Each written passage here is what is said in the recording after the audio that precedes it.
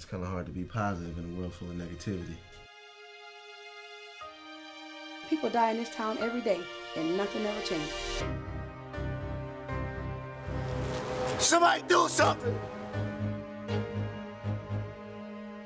I mean, it's an opportunity for us to get back at him, really. Two teens, Anthony and Janelle Davis, killed in broad daylight in more gang violence.